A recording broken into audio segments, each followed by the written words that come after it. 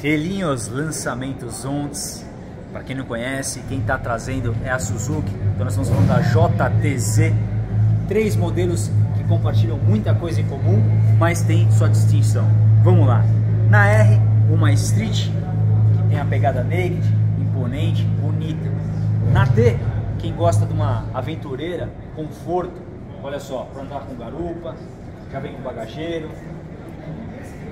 Quem gosta de uma custom, a versão V, aquela pegada mais aqui sentada, amortecedor duplo, bonita. Uma das coisas que a gente reparou aqui, eu e o Tarotiano, é que você não vê parafuso, então o acabamento está bem legal. Elas compartilham o mesmo motor, então a gente está falando aqui de um 310 que gera 35,3 cavalos a 8.600 RPM e um torque de 3,6 a 7.500 RPM. Painel totalmente eletrônico e muita coisa interessante aqui. Por quê?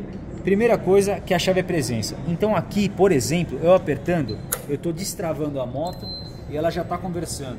Parei, virei o guidão, segurei, ela já vai também travar automático. Olha que luxo, ó. travou. Você tem a abertura da tampa do tanque também, pelo punho, ó. o banco também. Ou seja, a chave é presença e você praticamente vai deixar ela só no bolso, você não vai precisar dela para nada. Tudo aqui você consegue com os botões.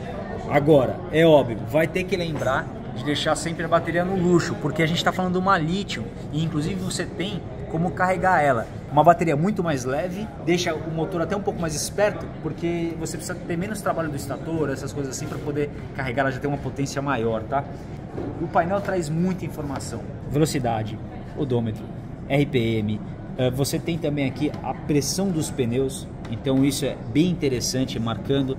Ruim para quem for andar na pista, porque vai dar aquela avisada, né? Ô, enche aí, velho. Então, dependendo de como ele vem padrão de fábrica, pode ser que fique aquele vizinho aqui. Mas quem usa dia a dia é legal porque o cara gosta de trabalhar a calibragem de fábrica. Para quê? Porque vai andar em linha reta, quer que o pneu dura 100 mil quilômetros. Você gostou do, do, da quantidade de quilometragem que vai durar? É, ou mesmo anda com garupa tal. Então, um pneuzinho calibração de fábrica vai demorar mais tempo para desgastar, fica mais bonitinho e tal. Então, é bem legal o aviso duas entregas de potência, uma econômica e o Aggressive. Mais uma grifada?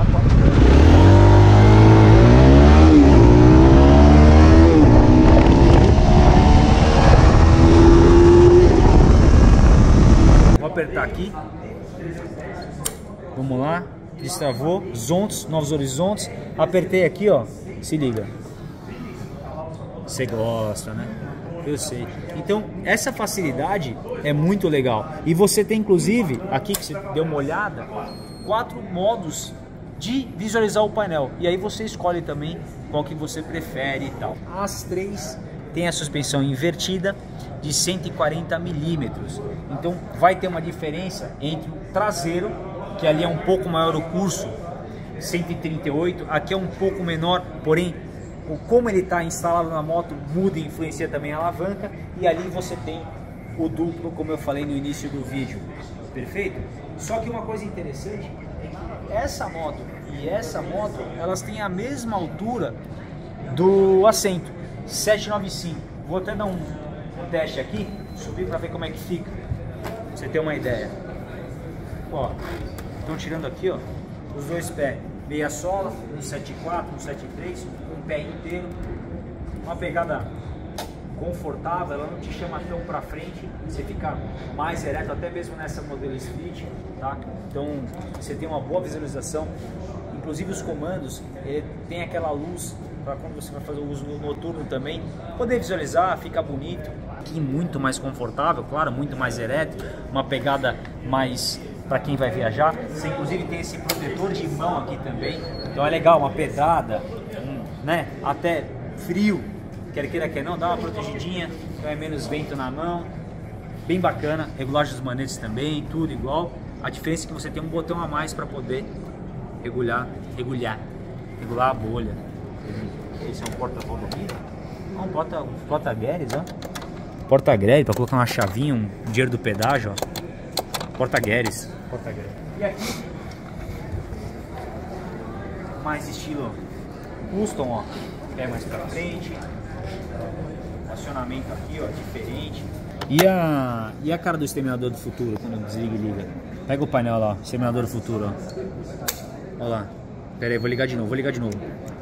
Terminator, Terminator. Vastly. Os freios.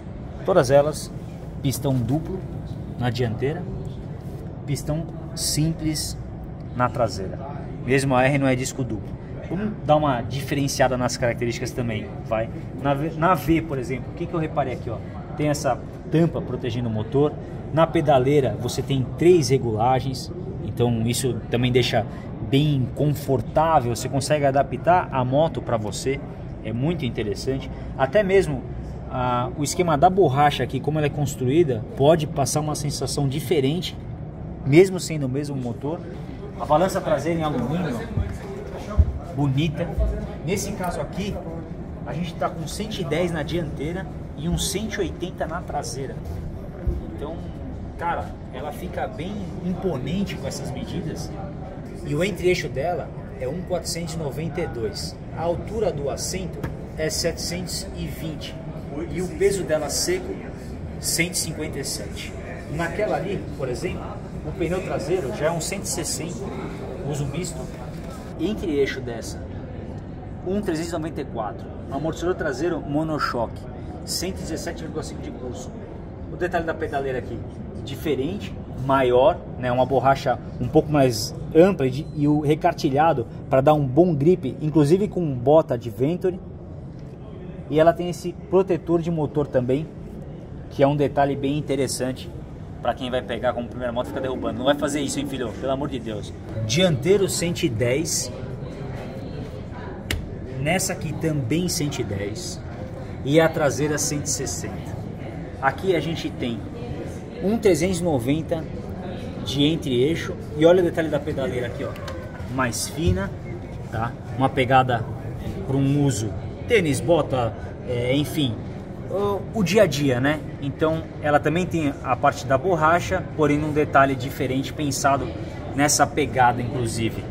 O amortecedor traseiro, como eu falei, o maior curso deles, 138 milímetros, certo? Nenhuma das dianteiras você consegue ajustar pré-carga, ela é apenas invertida.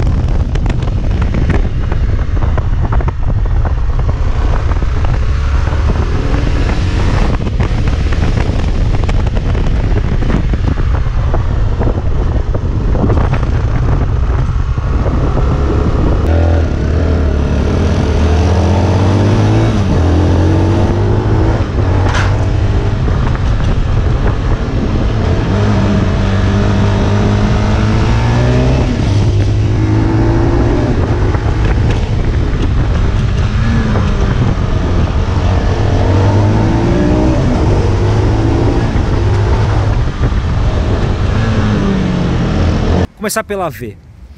Você vai andar mais sentado na moto, porque ela é custom no seu posicionamento. Então vai ficar estabilizado aqui, vai trabalhar mais peitoral e ombro. Esse perfil de pneu facilitou muito para fazer curvas tão bem quanto aquela num ritmo tranquilo.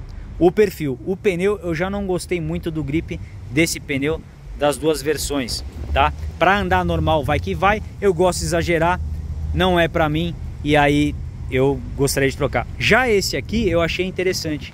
Ele tem o suco maior, então ele acaba dobrando, serve até como um segundo amortecedorzinho. Ficou bom, gostei. Aqui a vibração é maior na pedaleira, pouco no banco.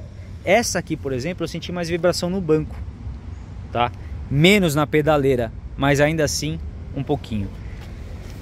Aqui foi muito menor na pedaleira.